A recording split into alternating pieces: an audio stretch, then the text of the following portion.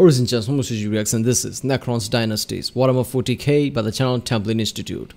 The Necrons withered beneath the entropy of time, locked away in hidden tomb worlds, scattered across the galaxy. Yeah, Mars is one of them, right? Yeah. But now this dead, wait a minute, is Mars one of them? Are Necrons under the Mars? I don't know. Oh, okay, Mars is probably not one of them, but in one of the worlds, Martians basically vent them and unleashed them or something like that, yeah. But now these dead walls are beginning to stir once more. The first step in a great awakening that will return the galaxy to its rightful rulers. Yeah, I love the whole concept of the Necrons because they are so old. Uh, Necrons basically went to the uh, older ones to help, but it's their apparently it's their motto to not help anyone or something like that. I don't know. So they didn't help. So Necrons went to the C'tans, and C'tans were being devious basically made them their slaves and you know killed all the old ones. In the process old ones created eldar and uh, orcs basically. So uh, then you know obviously uh, you know C'tan necrons and their leader basically turned against the C'tans right? To, took over control and basically cut them apart and stored them somewhere in some vaults or something because you can't kill C'tans they are immortal like that so which gives me this idea that in the future, in the Warhammer 40k lore, there's a chance somebody could assemble all these C'tans and C'tans might come back. But yeah, so Necrons are, you know, really powerful in that sense because they have power and knowledge of the old gods like old ones and C'tans. And, you know, somebody, uh, you know, somebody from the Mechanicus, basically some geek engineer just went there and, you know, messed with the things and unleashed Necrons or something. They were undergrounds, basically, you know, uh, hibernating or something like that. So yeah, that's what I remember so far. So obviously Templin Institute this is a 22 minute video so they're going to go into good enough detail I guess. Not the details as Luetin would go. I don't know if Luetin has a video on this but I guess we'll see in the future. But yeah let's watch this one. Remember if you like my reaction don't forget to like and subscribe. So I know we start videos to react to more and you'll be supporting my channel I guess Check out the links I did. There's a link in the description with all of my videos. Check out the cast of playlists like Warhammer 40k reaction playlist with all my Warhammer 40k video. So if you just want to see my Warhammer 40k reactions, check out that playlist. And there are other playlists too like, you know, JonTron, Internet Historian, History, uh, Kurzgesagt, Nutshell. Yeah, that's what it.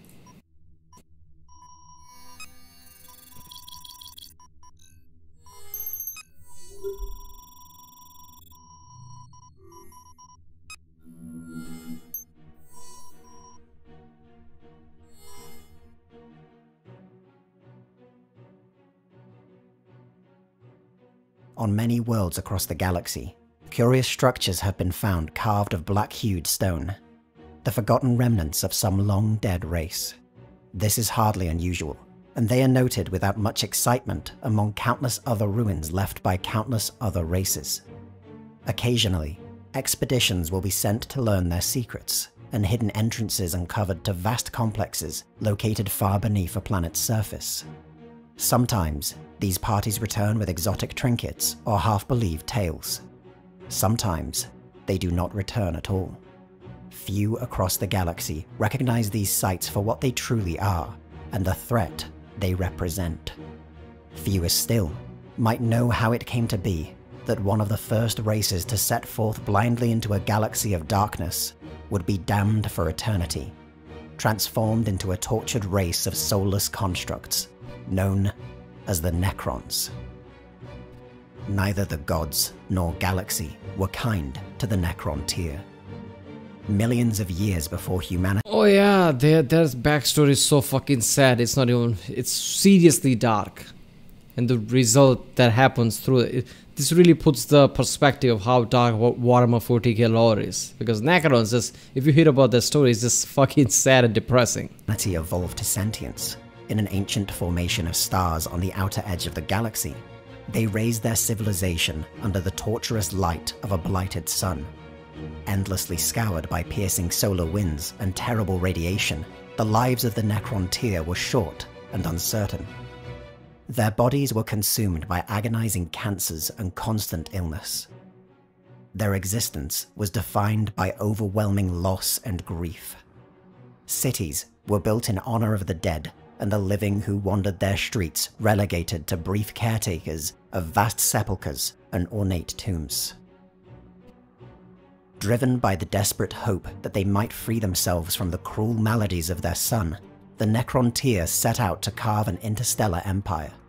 Bereft of psychic powers, the Necrontyr were unable to pierce the Immaterium, and instead relied upon slow-moving torch ships, carrying enormous stasis crypts. Though arduously slow to realize their dream, the Necrontyr were able to colonize much of the galaxy. Tragically, however, they could not rid themselves of their physical frailty, for even on rich, unspoiled worlds, the curse of their homeworld left them withered and short-lived. It was a terrible irony then, that of the few other civilizations present in the galaxy, they should encounter the beings known as the Old Ones. Ancient even to the Necrontyr, the Old Ones had long since conquered the burden of mortality and now were gifted with eternal life. Yet it was a gift they refused to share, and the entire Necrontyr race was left to fester in jealousy and resentment. Yeah, I think they are only called old ones because whoever discovered them in the current 40k timeline don't know what the name was or something. That's why they're called old ones. The unity that had propelled them into space was shattered, and competing Necrontyr dynasties warred with one another in a conflict that threatened to destroy their entire race. Had these wars of succession been allowed to continue, the Necrontyr might have been yet another footnote in galactic history, a civilization that rose, burned brightly and briefly, only to be extinguished. But the Triarch, the ruling council of three that governed the Necrontyr race, realized that only an external enemy had the power to reunite the dynasties and revive the spirit of their civilization. The choice was obvious. Only the Old Ones presented a credible threat, and the jealousy and resentment of the Necrontyr had been kindled into a burning rage. Successionist dynasties were offered amnesty. The Necrontyr reunited under the rule of the Triarch, and armies and fleets were sent to fight a war they could not win. In contrast to the Necrontyr, the Old Ones were the masters of the Immaterium. Through the use of warp gates and the extra-dimensional webway, they constantly outmaneuvered the plodding forces of the Necrontyr. Despite their superior technology, they were little more than an irritation to the Old Ones, and faced with an invincible enemy, the dynasties fell back into civil war among themselves. Having only accelerated the complete collapse of their rule, the Triarch again searched for salvation. Competing accounts differ on how the Necrontyr first encountered the C'tan some claim they were discovered in the heart of a dying star, while others say that the burning hatred the Necrontyr held for the Old Ones acted as a type of beacon. Okay, seriously, look at look at the image somebody created. This is probably a fan artwork or something like that. But seriously, the whole story is so fucking good. In Warhammer 40k, I slowly realized that you know there were lots of people who were creating the lore, and everybody had their own vision, and they just combined it. Because every single plot about different races when you see, hear them it's like a completely different you know different type of thing than the other ones and when you combine that it makes the Warhammer 40k lore so rich. This whole concept of an old creatures like Necrons and even their story involves really old creatures like the old ones and the C'tans which are godlike creatures. It's just fucking awesome you know combining with all the you know uh, Imperium of Man orcs, uh, you know, stories of orcs and eldars, the stories of tyranids, uh, chaos, chaos guards, and top of that, you know, fuck it, I'll I'll add this Necron story. Necrons who are really dangerous and advanced, but you know they met the god-like creature which are even more older. There is the lore of Warhammer 40k is so rich, it is ridiculous.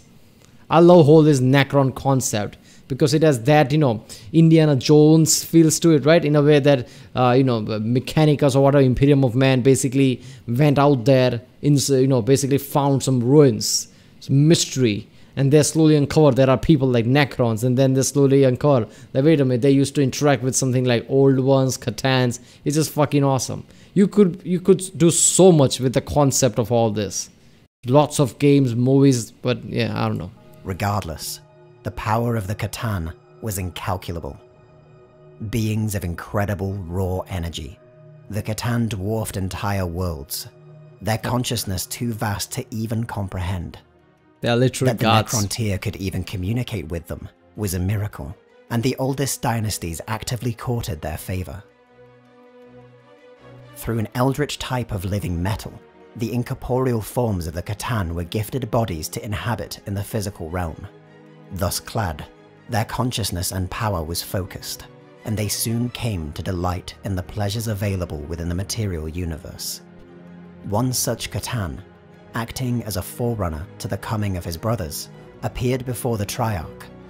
It claimed it and its kind, like the Necrontyr, had fought a war against the Old Ones, a war they had lost, and now were hidden across the galaxy, eagerly awaiting allies who might help bring that ancient race to account. Okay, first of all, didn't old ones die out because Necrons killed them? But C'tan couldn't be killed, so you know they basically cut them into pieces and stored them, something like that. If that's the case, that doesn't that automatically make C'tans more powerful than the old ones? How the fuck did C'tans lost? I think that's just uh, that's just a story they made up. Maybe something limits them to you know interact in a war or something like that. So they needed some slaves like Necrons to kill the old ones, something like that. I don't know because even with their kind of uh, you know vast consciousness and power maybe their limiting factor was, literally being there physically in numbers to fight a war so they you know basically made slaves out of necrons to do that it promised the necrontyr everything they had wanted unity power and most importantly the secret of immortality with the pact between the necrontyr and the C'tan sealed the star gods revealed the form that immortality would take. Enormous bio-furnaces were constructed and roared through the days and nights. What arcane procedures took place within are best forgotten. But while it was the people of the Necrontyr race who entered them, it was something else entirely that emerged. In yeah. place of diseased and frail bodies came shells of living metal, and the awful truth of the pact made clear. Through their transformation, the Necrontyr race had perished, stripped not only of their flesh, but of their souls. Yet while the price had been steep, every promise made by the C'tan was fulfilled. That is clad so sad. in armor that only their most terrible injuries could destroy. Seriously, that is so sad. Whole concept of Necrons, how they basically were struggling just to survive on their planet, went to the old ones to help, they didn't help they basically went to war against the old one because of it and then found their way towards C'tans who basically stripped them and killed them in a way because these are not the same people who enter that arcane furnace right the metal everything they, they, even their soul and everything is different so they're literally not the same ones right this is similar to how in mass effect 2 there are collectors who are supposed to be protheans but not the DNA all the way to molecular level they're different. I I can still find similarities between this and Mass Effect because BioWare probably took inspiration from this. The newly born Necron race and their C'tan allies wrought a terrible vengeance upon the Old Ones. Even as their last strongholds were broken, and even as the webway was penetrated and invaded, the Triarch had realized the deception played upon their own people. Where they had once feasted on the energy of the stars, now the C'tan feasted upon living souls. The star gods had gorged themselves on the Necrontyr and brought to the galaxy a war of such horror that even the victors would find no triumph. In an act of perfectly calculated betrayal, the Necrons waited until the Old Ones had been wiped out, and then turned on the C'tan in their moment of victory weakened and arrogant as the result of their long struggle, the C'tan were shattered by the unimaginable energies of the living universe, focused into weapons too mighty for even the star gods to endure. While the C'tan were a part of a fundamental fabric of reality, and therefore impossible to destroy completely, their shattered forms were bound within thousands of smaller fragments, scattered across the galaxy, so they might never reform. That is the C'tan had been. I love that plot because there is a possibility somebody, you know what, one of those thriller movies that has some kind of a evil guy plotting something and protagonist usually doesn't know until it's very late that they were plotting something super weapon type of things and then the super villain actually explains it. I can already think of a plot where somebody does that with the C'tans before they realize it they suddenly thinks why did they you know stole all these uh, different uh, objects and brought them together? Oh fuck me they are assembling C'tans that would be so fucking awesome as a story. Shattered, but the time of the Necrons was over. The cost to their civilization had been immense, and powerful psychic entities, unleashed during the wars against the Old Ones, threatened to scour the galaxy. Younger races, created by the Old Ones to aid in their war, were also rising, with the wrath of the Eldari, in particular, impossible for Necrons to stand against. The Silent King first among the Triarch, and the only member of that council who survived betraying the C'tan, gave one final order. His people were commanded to sleep, to wait for a time in which even the great power of the Eldari had withered, and the Necrons might return to rule the galaxy. With this order fulfilled, the Silent King vanished, fleeing into the intergalactic void, seeking solace and penance for the terrible suffering he had inflicted upon his people. I love how Necrons like, you know, Eldars have become way too powerful. We'll wait for one day where we can return and attack them. Yeah, well, Slaanesh beat you to it. Slaanesh killed 90% of them already.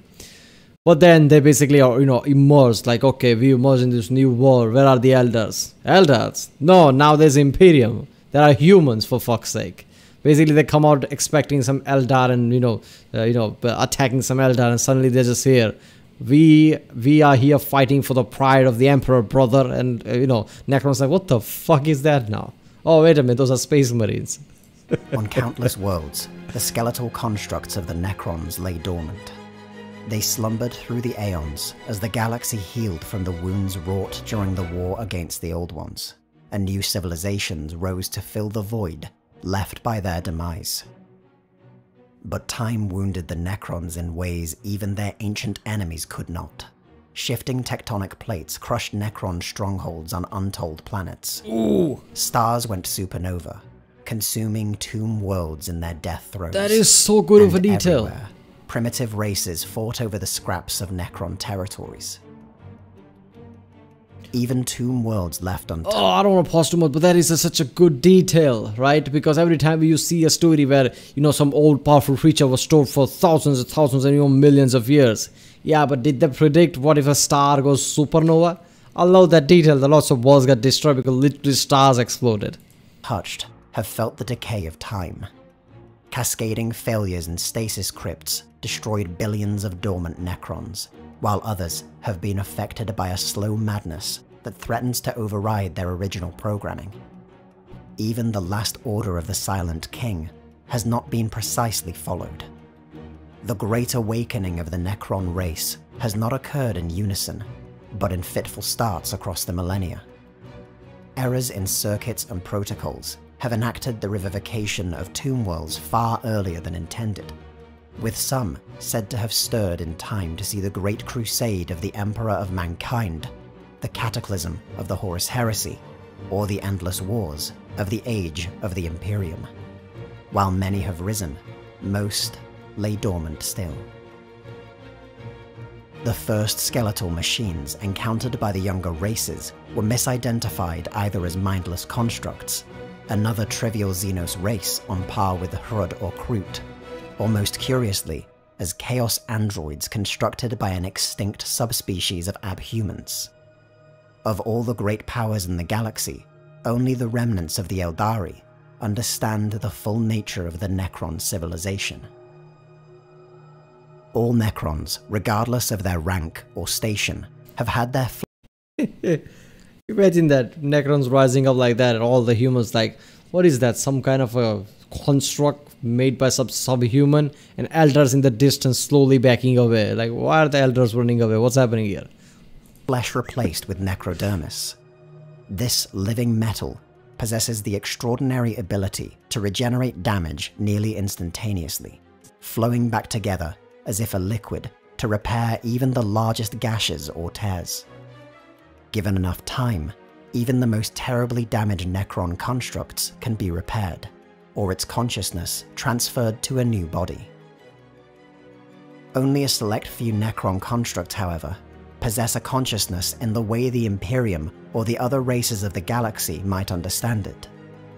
The transformation of the Necrontyr race stripped the intellect, self awareness, and personality from all but the most strong willed. These individuals, often the leaders or elite of Necrontyr society, were given the very finest necrodermis bodies, but even they are pale shadows of their former selves.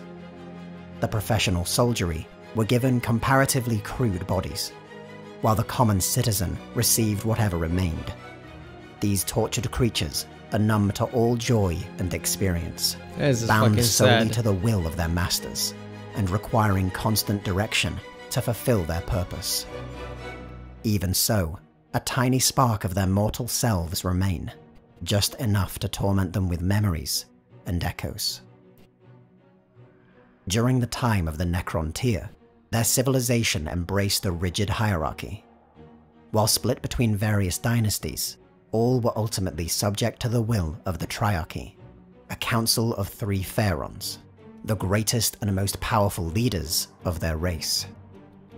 The head of this council was known as the Silent King, for he never addressed his subjects directly, but rather through the Phaerons who ruled alongside him. The short lifespan of the Necrontyr ensured that members from many dynasties were represented within the Triarch, or held the position of Silent King itself. Following their biotransference, the hierarchy of the Necrontyr became absolute with the Necrons. Completely subservient to the will of the Silent King, even the Phaerons were forced to follow his directives through command protocols embedded in every Necron mind. So ashamed by his failures, however, the last Silent King severed these protocols upon his withdrawal from the galaxy, and ultimate authority had been split across the various dynasties that Ah. remained. Okay. Phaerons and other ranks of Necron overlords have awoken to find themselves free of the Silent King and able to pursue their own agendas. Combined with aberrations in their programming that leave some overlords struck by madness, the actions of the Necron race are eclectic almost to the point of randomness. Uh, that's a good addition because now you know Necrons are not a one entity under Silent King because if they just emerge as a one entity uh, uh, under the Silent King and Necrons as a one entity against you know Imperium and things like that, that would be a bit too overpowering. But now since they're different dynasty pursuing their own goals, that's more manageable, I guess. The Necron lords of some dynasties display a splendid adherence to honorable conduct, sending forth emissaries and diplomats. On the battlefield, they adhere to the spectacle of honorable war, rigorously applying their ancient codes of battle. Other dynasties have embraced treachery and terror, utilizing psychological warfare, deception, and assassination. More still focus their attention inwards, pursuing the systematic extermination of any life forms who interfere with their affairs.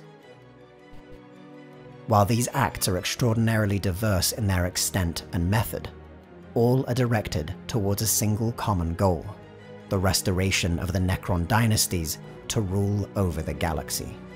Yet, with the Triarch long destroyed, most tomb worlds still dormant, and others inflicted with madness, there can be no grand strategy.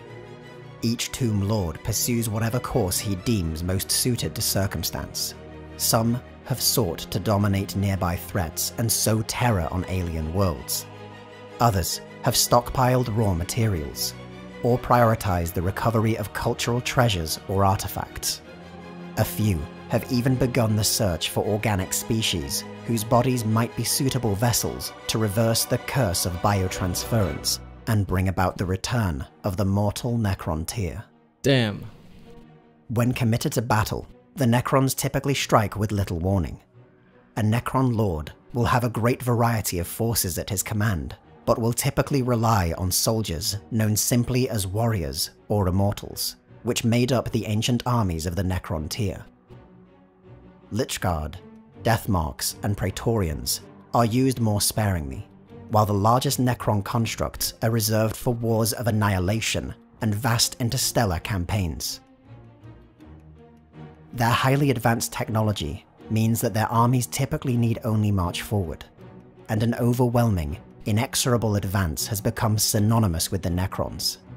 Despite this, they are capable of more nuanced tactics when necessary, and there exist a variety of Necron constructs capable of infiltration or rapid maneuver.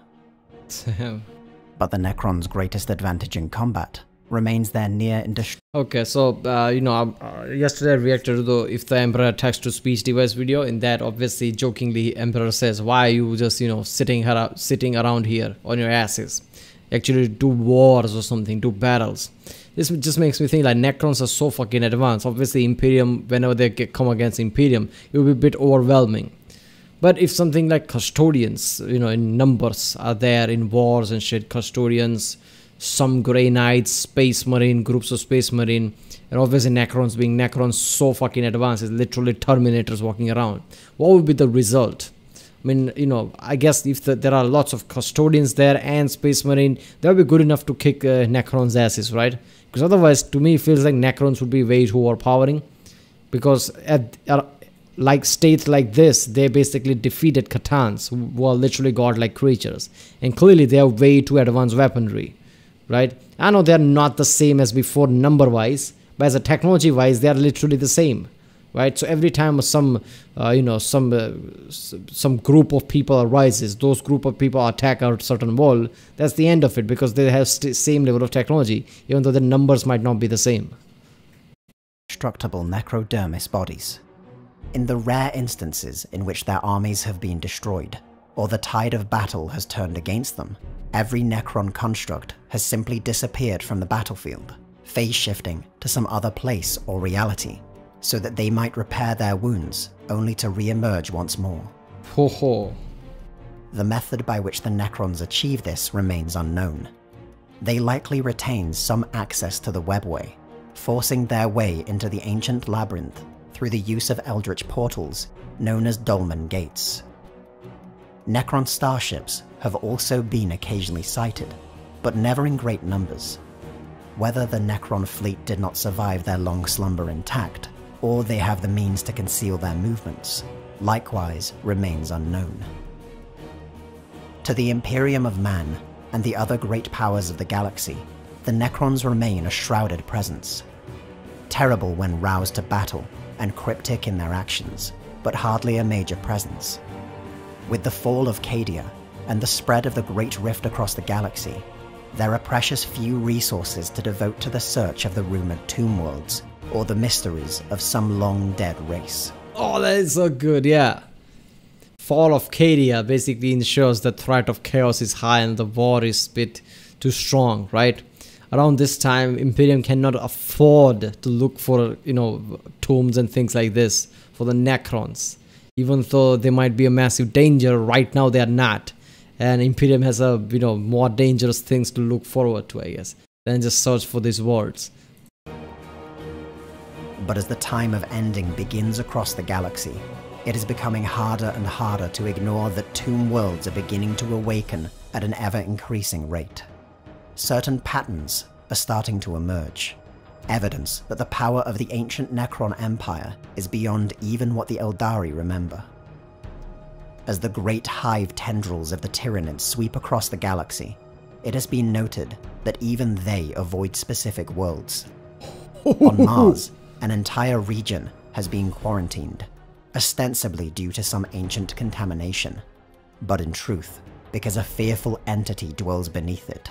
Oh, I was right then. I, I, I wasn't wrong then. Mars also has Necron's tombs. Huh.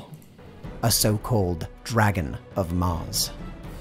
And despite the rampant spread of the ruinous powers and other warp-spawned horrors, there are curious places in the galaxy where even the overwhelming howls of the warp have been silenced. Oh, this Places is so good. Where the silence is far worse than the screams.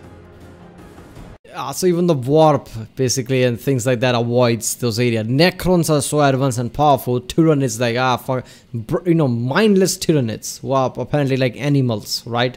Because uh, they they basically hunt like animals. They are not some malicious creatures like that, that who thinks and plot things. They're literally swarms of creatures. Even they're like, ah, no, I'm not touching that shit. Necrons are that powerful, but Mars Dragon of Mars, so there are Necron tombs there probably. How can Imperium afford not to investigate that? Because if Mars falls, Mechanicus falls. If Mechanicus falls, Imperium is fucked. Where are they going to get their equipment from? So Mars is literally the forge world for the Imperium. You can't let that slide, right? You have to at least eliminate that one. Dragon of Mars. If there are Necrons tomb there, Imperium has to eliminate that first. Otherwise, Imperium is fucked. Some have even claimed that the stars themselves whisper of the Silent King, that its exile is over, and it walks among the dynasties once more. If the Great Awakening is finally at hand, then the remnants of the Aeldari, the vast host of the Imperium, the Ork hordes and Tyranid hive mind, even the gods of chaos themselves, might finally learn that for all their fearsome power, this galaxy was never truly theirs. Oh, come on. That they are merely trespassers. Oh, come on, Chaos Gods, come on.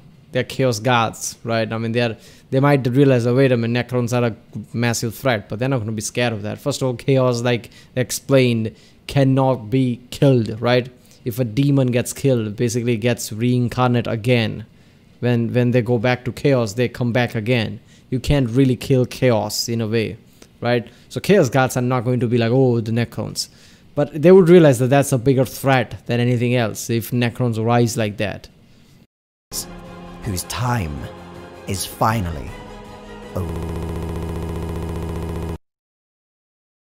What was that? Oh, wonderful. I was concerned I might have missed you. Please allow me to express my fulsome appreciation of your investigation, as you call it. Thoroughly researched and well spoken. Delightful from beginning to end. A few errors here and there. A few omissions. I had hoped that I or my collection might warrant inclusion. But you make cuts for time. I entirely understand. I am something of a seeker into mystery myself, and I feel a sense of professional courtesy to inform you that the presence of your institute has not gone unnoticed here. Is that Imperium? you are watched by some of whom you are already aware, and by others of which you are not. It is so rare to find those who might appreciate my work. It would be such a shame to see you become an agent of disorder. Until then, feel free to visit any time. Wait is that Inquisition? Look what is that? Always a place for you here. Investigates the nations, factions, and organizations.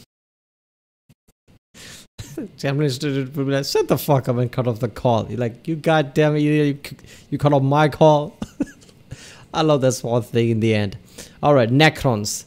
Definitely really fucking advanced. So sad of origin story. Really sad. I love the whole element about the Necrons. I said that in the Bricky's video the first time I reacted. Like, you know, all stories are unique and literally so good that you could create like, you know, Lord of the Rings type series of movies about one particular race and expand the whole universe with different like how that marvel universe somebody could literally spend money into creating this warhammer universe with different movies series of movies about one particular thing one origin story. You can create necrons series of movies. And it would be so fucking good because the stories are so rich that every region every different race's stories feels completely different and different from other thing and it's so rich and they're all in one world. Thinking about that is so good. That's what makes some lore really good. Like different rich stories in one universe. That's so good. This is why Marvel Universe work in the first place. Like people love that you know everything connects together. You know Iron Man, you know Captain America, everything basically connects to one thing. People love that. Warhammer is that. I'm hoping that not now, maybe not next decade, maybe two, three decades, whenever in the future, people realize what a great gold mine this Warhammer universe is, and somebody actually tries to make this. Well, let's be honest, Marvel universe, DC universe will run out eventually, right? all the main things will run out. How long they're going to make movies about that? Few decades at best. Then they'll find something else right i hope somebody realize how good this is. If not movies then at least some rpg type games because this is so good. I love the whole story of necrons how sad it is right? How you know they, they found the help of old ones then C'tan Xepen then they was literally killed in a way right? Because they're not no longer what they used to be. Can they even go back to their original state like they want to? By finding some organic balls organic people or whatever to reverse the process. Can they reverse the process because what if these are just mindless mindless husks all the people who no, no longer even have the you know same type of consciousness anymore? They're literally mindless husks now. Only the um, people leaders us you know they're conscious like that. Everything else is just basically mindless husk. What if that's the case? Necrons are so powerful so rich story so sad story so depressing story. Is just perfect Alright people, if you like my reaction, don't forget to like and subscribe. Check out the Sandy, there's the link in the description. Check out the cast for different places, everything cards, and yeah, I'll see you next time.